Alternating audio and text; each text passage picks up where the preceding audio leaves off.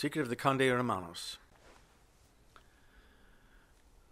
Secret of the Conde Hermanos. Clarissa Bell. Chapter 5. Helena had given birth to a fragile yet strong willed little girl with a pale, opalescent complexion and lots of flaxen hair. Her eyes, for the time being at last, were two pools of milky blue. Must be a recessive gene somewhere in the family, Helena mused, because both she and Lysander were both brown eyed brunettes. And she had felt sure throughout her pregnancy that she was having a boy. She had set her heart on the name of Blaise, and deciding at the last minute that the name would probably work just as nicely for a girl, was now asked regularly if she had named the child after a horse. So much women's intuition, she had laughed, concluded, and she now looked forward to a lifetime, she imagined, of explaining to Blaise he was a well known third century saint and scientist. Perhaps he was really only well known, however, to Catholic schoolchildren who underwent the yearly ritual of kneeling at the altar, placing their necks in some sort of V shaped contraption, and having their throats blessed by St. Blaise, or the sore throat saint, as they liked to call him. Does she let you sleep? Alice had asked, having heard the horror stories of sleep deprivation as told by all new parents. She does, actually. She sleeps a great deal for an infant. When she's awake, watch out. She's charming and playful and entranced by anything that moves, particularly that bird mobile Lysander hung over her crib. And such lungs! When she's hungry, you think she was a cat in heat. What can I say? She's an absolute delight. Oh, Alice, we are so happy. And indeed, she looked flushed with joy. It came as no surprise to Helena that Alice's brief visit to meet the newborn came on the cusp of a pending departure. Alice would fly off to Europe again shortly, as she was wont to do periodically, and was doing some last minute fundraising. Helena had worked for years in the antique trade and had many contacts, both buyers and sellers, in the world of collectibles. I have a small favor to ask of you, Helena, Alice began. You remember my Uncle Jerry, don't you? You mean the one who plays the banged up old guitar so sweetly? How could I forget him? Well, Alice explained, he has passed away recently and left that banged up old guitar to me. The thing of it is, I think it might have some actual value, she hinted broadly. Alice, my sweet, that guitar has seen better days as I recall. I mean, your uncle was a truly a virtuoso, but that poor relic, let's face it, it looked pathetic. She said not unkindly. I know, I know, Alice admitted, but I heard all the stories about Uncle Jerry. Bought in Spain from a friend of a friend who was selling it for some guy called Diego del Gastor. Uncle Jerry loved that guitar more than he loved Aunt Sally. I think. I just have a hunch it might be worth something, and I simply don't have the time to research its value. Well, I'm gone. Could I leave it with you to find a good home? I'll split the money with you. Whatever you can sell for it. But for my Uncle Jerry's sake, I'd like to find it a really good home. After a thoughtful pause, Helena winked and said good naturedly, Don't see don't see why not. I'm pretty good at foundings. And so was that Alice departed for Europe a fortnight later, leaving her Uncle Jerry's guitar in the very capable hands of Helena. Gwendolina, have you named the kitten yet? Rogelio asked as he rolled up a series of Indian prayer durries. They were woven of sturdy cotton fiber in wide blue and white stripes. Being just big enough to kneel on and pronom, they were one of the lightest and easiest to handle rugs in the store's inventory. I'm getting closer, Gwen replied, cutting short lengths of twine with which Rogelio would secure with each durry in a tight slip knot. You see, she continued, I'm on to avoid the obvious choices, such as Geronimo or Jerome, and go for something more original. I think I've got it. How do you like Blaise?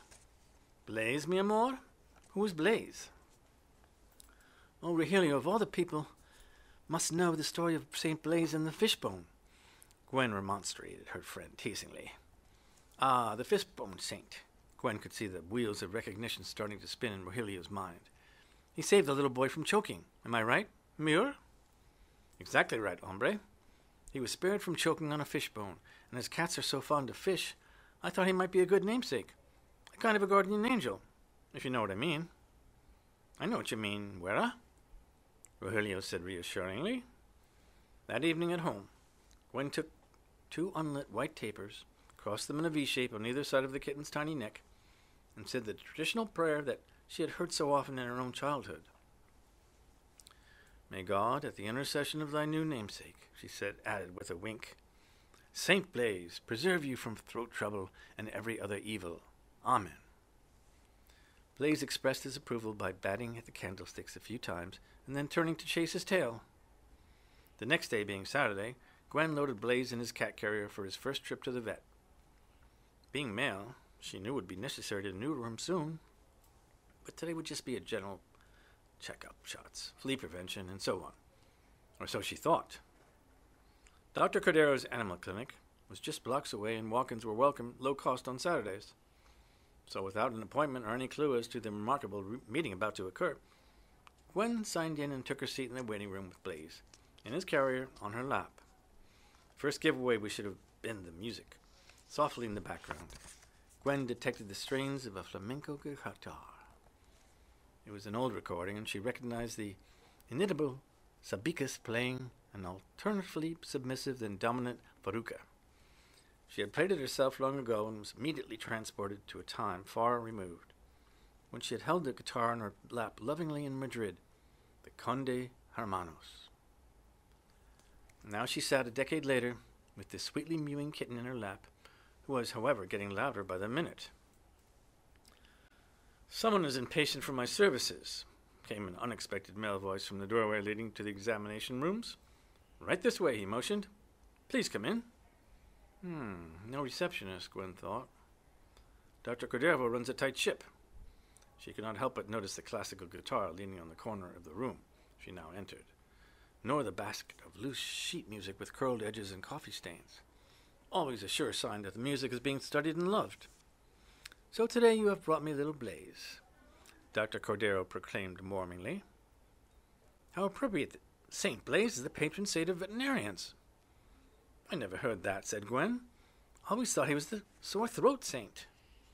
Oh, he is, Dr. Cordero assured her, along with the fishbone saint. But many people weren't aware that St. Blaise had an uncanny rapport with birds and wild animals. He was once found by hunters, kneeling in prayer and surrounded by wolves, bears, and lions. As he was also a third century physician, he took care of the animals and they, in turn, watched out for him. Many consider him to be the precursor of St. Francis. Dr. Cordero expounded freely on the subject while deftly administering to Little Blaise.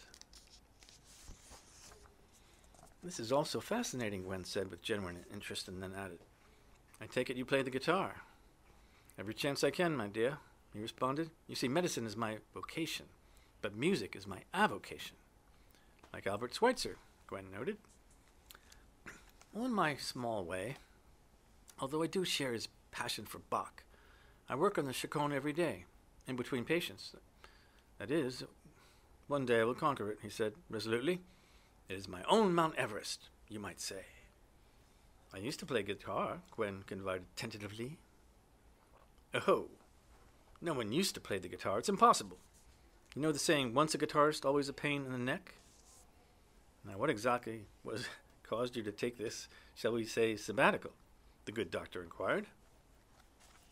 So it was that Gwen fell under the enchanting spell of Dr. Cordero, and became a second person after Rogelio, to whom she told the story of the Conde Hermanos. I see, he said, taking a deep breath. So am I to believe that the spirit of the Conde Hermanos is sitting right here on my examining table, covering my forearms with playful scratches and chasing his tail? Yes, Gwen softly now, not entirely sure she should have trusted Dr. Cordero with this privileged information. But he quickly relieved her doubt. It sounds entirely plausible to me, however. I must invite your contempt by putting in my two cents on the matter. You need to get another Conde Hermanos, an actual instrument. And further, I believe that the spirit of your old Conde Hermanos, as embodied in this sweet yet forceful little kitten, has directed you to me so I could tell you this. Once again, Gwen found herself wondering is that really possible? Could I only bring herself to say? Even if I've agreed with you, Dr. Cordero, I could never afford one in my present situation. Back then, I saved a lot of money by going to Spain to buy it. It's simply not feasible. Child, let me tell you something I've learned with age, Dr. Cordero said melodramatically, then whispered almost audibly, inaudibly if there was a presence in the room he didn't want to hear. Everything is feasible. Leave it to me, he said in his normal voice. I'll do a little sleuthing in the marketplace. Then we shall see what we shall see. Helena continued to be so fascinated by her new young daughter and her curious ways, she did not have a great deal of inclination to pursue the sale of the Uncle Jerry's guitar. In fact, she dreaded it. She knew only too well the ruthless world of buying and selling antiques. One chip, one scratch, could render an otherwise invaluable item worthless, and many were the vultures lying in wait to descend upon such items as these. The condition of Uncle Jerry's guitar made it vulnerable, despite the confidence Alice so valiantly placed on it. Helena decided the best course of action would be to place a vague ad on Craigslist and word it like this Vintage guitar for sale, in grave disrepair. Price negotiable. This would protect her from interested parties pointing out its obvious flaws and let her simply accept or reject any offers without having to actually haggle over the price. When she promptly received a most civilized call from a Dr. Carlos Cordero, she felt strangely at ease. My dear, he chided her cordially, you neglected to mention the guitar maker in your ad. Could I trouble you to provide this information before going on any further? Well, you see, that's part of the problem, Doctor, Ellen explained. The label is completely faded and illegible. I only know its general provenance by word of mouth. Not a problem at all, Dr. Cordero said, without missing a beat. There are other ways of determining the maker of a guitar. May I come around and have a look at it? Perhaps this afternoon at two? That would be fine, Helen agreed. Hastily, as she was simultaneously nuzzling Blaise, nose to nose in the fashion the baby seemed to like best. Upon arriving, Dr. Cordero began immediately to examine the guitar thoughtfully and thoroughly. Helena half expected him to take out a stethoscope and listen for breathing and heartbeat. Finally satisfied, he made his prognosis. I feel it is reasonably safe to say, he began, that this instrument is indeed Conde Hermanos. It has all the all important signature hardware design. The grave disrepair you so charmingly alluded to in your ad speaks well for its flamenco origins. Flamenco guitars, being subject to all manner of finger drumming and hand slapping, it all takes a grave toll over the years and it has the sound of one hopes to find in such an instrument. Then, getting to the point directly, he asked, What is the least amount of money you would be willing to take for it? Well, Dr. Cordero, I'd rather hope that you would tell me the highest amount of money you would be willing to pay for it, Elena said simply. In that case, I have an interesting story to tell you. And so it was that Helena became the third person to hear the story of the Conde Hermanos, this time as told by Dr. Cordero. At the end of the tale, with all its many twists and turns, one detail stood out prominently to Helena. Did she really name her white cat Blaise? she asked incredulously. I examined the little foundling only days ago, Dr. Cordero replied. I had a white cat, very special white cat named Crescent, after the moon. He died suddenly before my daughter was born. For some odd reason, against my better judgment, really, I felt compelled to name my daughter Blaise. It's puzzling, isn't it? Quite. Dr. Cordero agreed. Almost eerie, really. Well, I think it all points to one thing, Helena said, as if feeling her way unsteadily in the dark. Yes, Dr. Cordero waited patiently for her to draw her conclusion. On behalf of my dear friend Alice, who wanted to find, above all, a really good home for her uncle's guitar, well, she and I both would be honored if your friend would accept this guitar as our gift. I don't think we'd ever find anyone more uniquely qualified to call this guitar their own. Nor do I, dear child, Dr. Cordero smiled warmly. Thank you on her behalf and mine for your kind and understanding heart. Several months later, Gwen called Carlos, for she and the doctor were now on a first name basis. Carlos, Gwen exclaimed excitedly over the phone, I've discovered something highly unusual about the Conde Hermanos. I shouldn't be surprised, he laughed, and added, Only what is it this time? Well, I was leaning against the wall with the afternoon sunlight hitting it just so when I noticed some small letters carved in its neck. They were extremely faint, but with the help of a magnifying glass, I could read them. And they said, they said C.D.S. Geronimo. Would it be too much trouble to ask Helena if her friend has any idea what they stand for? No trouble at all, my dear. I'll phone her directly. By this time, Alice had returned from Europe and had been amazed to hear of the happy turn of events. I know this is, this is making Uncle Jerry very happy in heaven, she said as she cradled Blaise in her lap. Blaise, meanwhile, was making unsuccessful attempts to grasp the dangling earrings and that she wore. Oh, Alice, before I forget, Dr. Cordero called the other day. Seems they found the letters CDS Geronimo carved faintly in the neck of the guitar and were wondering if you knew what they meant. No mystery there. Alice giggled. Did I ever tell you my grandfather was from Argentina? She was a grand and formal lady who chose grand and formal names for her two sons. My dad, Mike, got off relatively easy. His first name, his full first name, is Miguel Arcangelo. My poor uncle, however, got stuck with Concepcion de San Geronimo. Is it any wonder he preferred to go by Jerry? When this final coup de grace was delivered to Gwen several days by Dr. Cordero, she staggered a bit before collapsing in a nearby chair. Carlos, this defies believability, was all she could bring herself to say. In what way, my dear? Dr. Cordero stood by with concern, poised to take her pulse if need be.